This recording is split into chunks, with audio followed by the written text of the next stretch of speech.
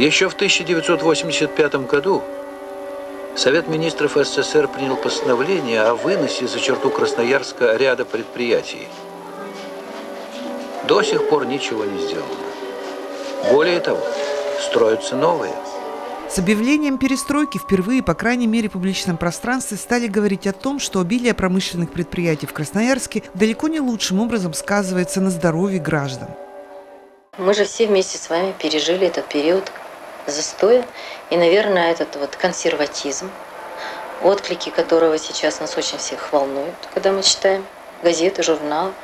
Наверное, в это в первую очередь сказался, что мы очень долго понимали, что мы неправильно живем. Больницы и поликлиники констатировали, врачи переполнены, в них порой собираются больше детей, нежели в садиках. По итогам медицинского осмотра одной из центральных школ города Красноярска практически не выявлено абсолютно здоровых детей. Одна из проблем, говорили медики, в том числе, что они занимаются исключительно лечением, но не профилактикой. И надо же что-то с этим делать. Правда, даже здоровый образ жизни, как оказалось, увы, не панацея. Этот чудесный бассейн построил для своих малышей Красноярский металлургический завод. Может быть, им с первых дней жизни обеспечено отличное здоровье? Вряд ли. Ведь в зеленой роще, где находится бассейн «Дельфин», один из самых экологически грязных районов Красноярска. Концентрация вредных веществ в воздухе превышает здесь санитарную норму в 5, а иногда и в 19 раз. Пример для подражания – это красноярские моржи. Клуб «Криофил», один из старейших в стране, официально начал работать в 86-м. Но еще с 79 -го года отдельные энтузиасты закаливались и оздоравливались в холодном Енисее. Болел пневмонией в течение двух лет. Врачи говорили, теперь, Владимир Андреевич, это вам на всю жизнь ваша болезнь. Стал купаться в Енисее. Купался до сентября месяца. Потом уже пошел снег, наступили морозы, я продолжал купаться.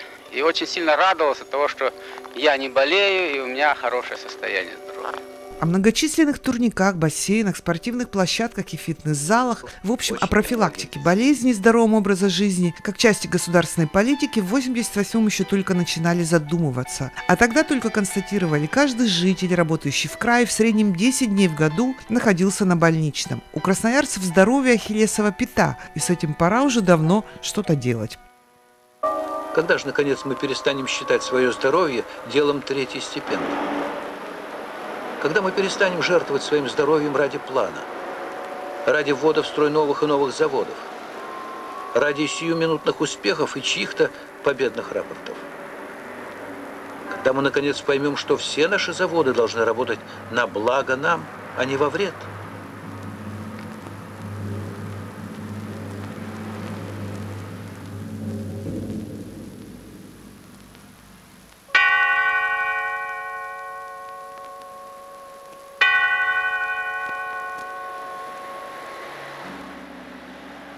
Наталья Кечина, Новости ТВК.